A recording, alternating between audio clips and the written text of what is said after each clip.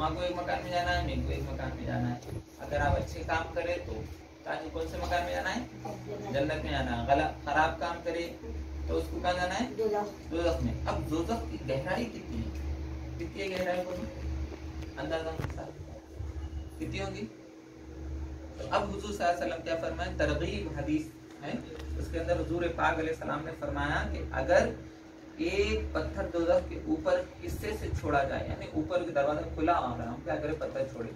छोड़ा जाए तो उसके तय में सत्तर साल के बाद पहुंचेगा यानी नीचे सत्तर साल के बाद पहुंचेगा। उतना बड़ा दोजख सत्तर साल बोले तो हमारी उम्र खत्म। उम्र खत्म बोले तो उम्र खत्म हो के बाद हम पत्थर जाके लग रहा। तो कितना बड़ा उम्र दोजख नहीं? तो एक दिन हमारा क्या रहता? चौबीस घंटे का तो सत्तर साल सोचो, कितने होंगे? उतना गहरा है जोदक तो जोदक- अब जोदक की दीवार कितनी अब गहराई तो हो गई। सरकार दो आलम सलाम हर चीज़ के ऊपर बताएँ। तो जनाब नबी करीम सल्लल्लाहु अलैहि वसल्लम ने फरमाया दोजख की चार दीवारें। कितनी दीवारें? हर दीवार की मोटाई 40 साल के सफ़र की होगी। 40 साल के सफ़र की होंगी। अब 40 साल में भी चल जाएँगे लोग आते जा रहे। 40 साल की सफ़र की होंगी हर दीवार नॉर्थ जाओ ईस्ट जाओ वेस्ट जाओ कहाँ जाते जाओ आप, मगर वो दीवार जो होंगी उसकी लंबाई 40 साल की होगी। अब 40 साल की बोले तो आप खोदे तो भी नहीं, खुदता। आप सुराख मारे तो भी गए, जाते जाते तक खत्म खत्म हो जाता। समझे?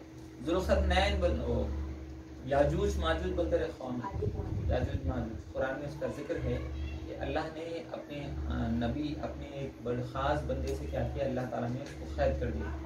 क़यामत के करीब वो निकलेंगे। तो वो लोग के पास एक लोहे की दीवार अल्लाह ताला ने बनाया। बनाने के बाद क्या किया? वो लोग क्या करते दीवार को ख़त्म करने के लिए अपनी दबाने जो दिए दबान से चाटते रहते तो वो लोहा जो रहता आयरन पिघलते रहता पिघलते रहता, थक जाते लोग। सुबह से शाम तक करते, पूरे लोग थक जाते। थोड़े भी बाकी रहता और लोग बोलते कि कल करेंगे कल करेंगे। तो सुबह में आके देखते दीवार ऐसी हो जाती और फिर काम करते बोलते कल करेंगे। ऐसा होते होते आखिरत के दिन ही उसमें से एक बंदा पैदा होगा जो आखिरत से करीब, यानी आखिरत से करीब एक बंदा दुनिया में एक ऐसा पैदा होगा उनके नहीं उन्हें कहेगा कि मैं दीवार चाटते चाटते सब जने थक जाएँगे। तो इंशाल्लाह हम इसको कल दोबारा इसको खत्म करेंगे। बोल के जैसे ही बोलना इंशाल्लाह का लफ्ज दीवार में ही थम जाता। इससे पहले कोई नहीं बोलेगा जब तक। इंशाल्लाह बोलेगा, अल्लाह की मर्ज़ी होगी तो हम इसको खाएँगे। इनशाला का मतलब क्या है? अल्लाह की मर्ज़ी होगी तो हम इसको कल खत्म करेंगे। ऐसा ही बोलेंगे तो उसके दूसरे दिन वो लोग दीवार को फाड़ के बाहर आ जाएँगे। और वो लोग क्या करेंगे? इंसानों के जो सामान रह के खाने के राशन पूरा खत्म कर देंगे पूरा पूरा। फिर एक अलग अलग दुनिया है। वो बताने का मकसद है कि अल्लाह तबारक क्या किया? एक ऐसी भी दीवार बनाया जो दीवार खत्म नहीं इंशाल्लाह बोलने पर ही खत्म होता तो जुदख की तो कितनी है? चालीस साल है इतनी बड़ी दीवार है। तो हम कैसा खत्म कर पाएँगे? नहीं। जुदख में क्या जुदख में ही रहेगा। फिर फरमाएगा दोजख के दरवाजे क्या होंगे? कितने दरवाजे दोजख के? जन्नत के कितने दरवाजे? तीन। तीन। तीन कैसे? आठ। दरवाजे है। ना? उसमें से क्या दोजख के क्या फरमा लहा सब अतु अबवाब। फरमा दोजख के सात दरवाजे कितने दरवाजे होंगे? सात दरवाजे होंगे जनाब नबी करीम सल्लल्लाहु अलैहि वसल्लम ने फरमाया दोजख के सात दरवाजों में दरवाजे है, एक दरवाज़ा उसके लिए है जो मेरी उम्मत पर तलवार उठाए। एक दरवाज़ा उसके लिए है जो मेरी उम्मत पर तलवार उठाएगा। आप तलवार कौन उठाएगा? आज देख रहे हैं हम टीवियों पे, चैनलों पे क्या देख रहे हैं? भाई भाई को मार दे रहा प्रॉपर्टी के लिए भाई बहनों को मार दे रहा तो उम्मत में उम्मत में मारे। काफिर भी उठाएँगे तो उनमें भी अजाब है। मोमिन भी उठाएगा तो उन्हें भी अजाब है यानी गो, जो गोया के जो कत्ल करेगा उन्हें भी क्या है? एक दरवाज़ा उनके लिए रखा गया कि वो दरवाजे से खातिल दाखिल होगा। कत्ल करने वाला दाखिल होगा। फिर मैं लोजक की लगाम क्या है? अब अब तय देख लिए। तय कितनी है? सत्तर साल। मोटा मोटापा कितना है? चालीस साल। दरवाजे कितने हैं? आठ उसमें से एक दरवाज़ा किसका है? काफिर। कत्ल करेगा। किसकी? उम्मत। उम्मत यानी मुसलमानों के ऊपर जो तलवार निकालेगा उसके लिए वो दरवाज़ा है। और फरमाया जनाब नबी करीम सल्लल्लाहु अलैहि वसल्लम ने फरमाया, क़यामत के दिन दोजख को, दोजखी को घसेट कर लाया जाएगा। उसके सत्तर हज़ार लगाम होंगे। हर एक लगाम को सत्तर हज़ार फरिश्ते खींचेंगे। तो सोचो कि एक खयामत के दिन क्या दोजखी को घसीट कर लेके जाएगा? वो लोग ऐसा हाथों से नहीं लेके जाएँगे। घसीट के लेके जाएँगे कैसे?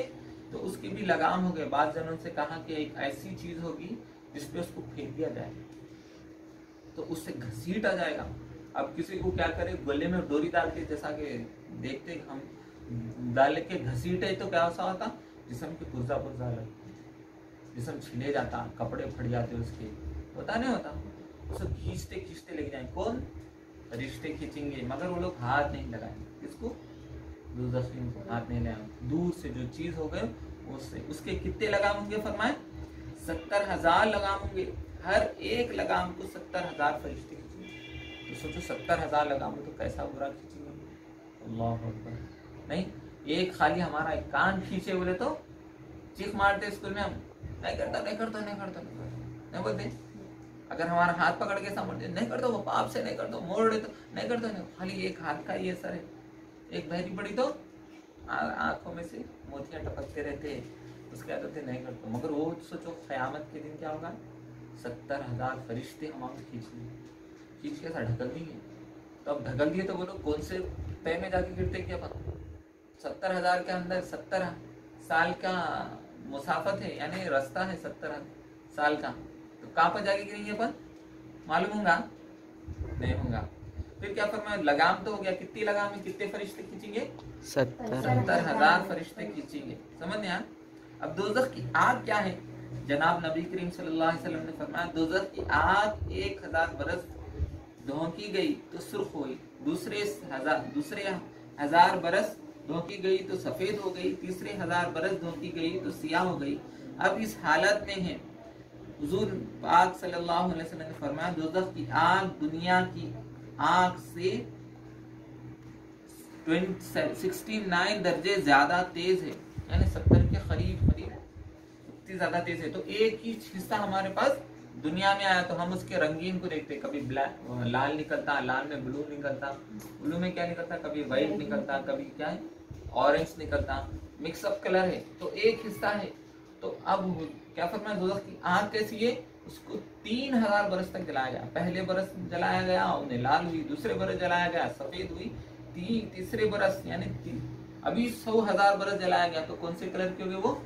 काले। अब काले बरस, काली आँख रखना क्यों है मकसद अल्लाह का? काला अब जैसा कि मिसाल के तौर पर औरतों काला बुरखा पहन क्यों होती उससे अपने कपड़ों को अंदर की चीज़ों को सब छुपा क्यों? कि दूसरा ना देखे नहीं, और वो गुनाह में आए नहीं। है ना? उसी तरह बुरखा पहने बाद हमारी चीज़ें हमारे पास रहती सही सलामत। अब कोई बुरखा नहीं पहना और उसके बाद क्या होगा सोने की चैन दिखी। क्या होता रोड पे चोर मिला बोले तो सलाम वाले को सलाम करके चले जाता। ऐसे कई वीडियोस आए, इससे चैन पहनने के बाद क्या हुआ? मैं गले से खींच के चले अल्लाह का फजल है कि अल्लाह ने हमारे को क्या किया?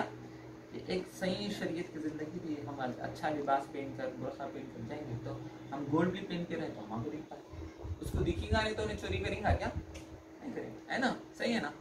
तो उसी तरह से क्या है?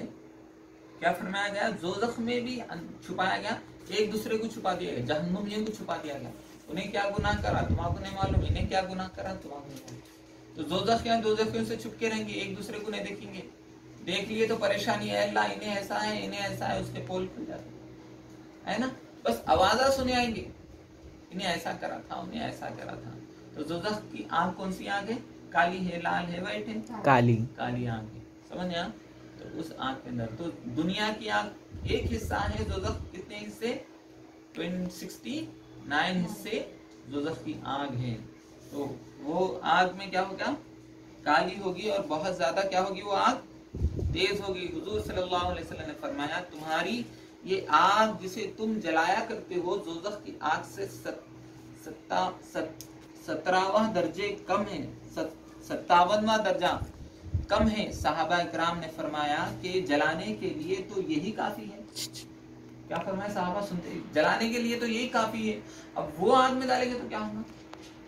हमारे को नहीं नहीं?